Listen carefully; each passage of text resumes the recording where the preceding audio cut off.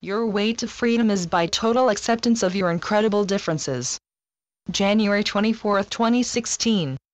Dear one, you have all been trained on this earth to fit in, to be a part of the way things are, to not go out of your way to change what is.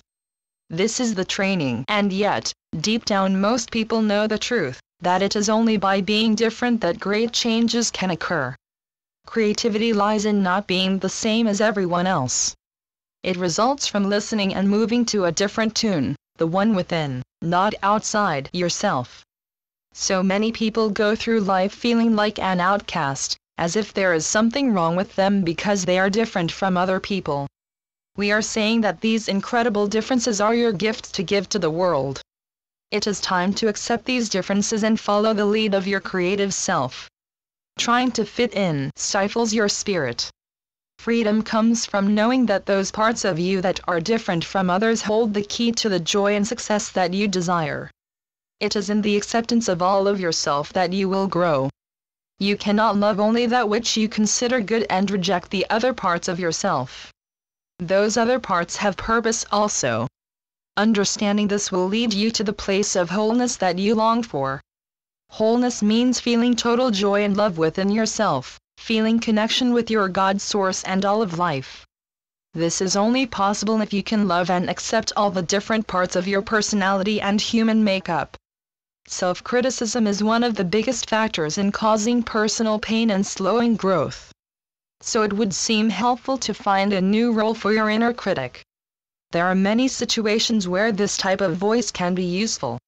Simply tell this side of your personality that you do appreciate its efforts to make you a better person, and keep it busy by sending it to work in those areas where you need more order and organization in your life. When you set judgment aside, you will begin to feel an expansiveness in your mind that allows inspiration and creativity to enter. You do have these creative parts of your personality, these are the parts of you that strive for expansion and are linked to your higher power and to the angelic energy. Practice. If you call upon the angel of inspiration and creativity to show you ways to expand and enrich your life, a powerful focus of energy will begin to work in this direction. As you begin to use this new creative flow, it will become stronger and stronger. Creative solutions will appear where they were not apparent previously you will begin to break through old patterns of thought that hold you back, and doors will open to bring more joy, prosperity, and originality into every area of your life. When you can accept all parts of yourself as unique and special in their own way, there will be a sense of peace within you. There will be less fear in following your inner guidance and intuition. You will begin to trust yourself and to express your uniqueness. Remember that all the humans who are revered and considered great by the world, are highly valued for their differences, not for their sameness. Keep this as your intention. Choose freedom and expansion instead of fear and contraction. Ask yourself what you would do if you could do anything.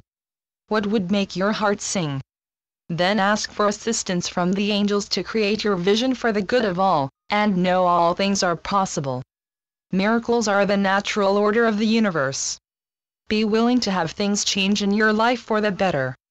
Be willing to see the good within you and accept the incredible differences that make you who you are. And always remember that you are greatly loved.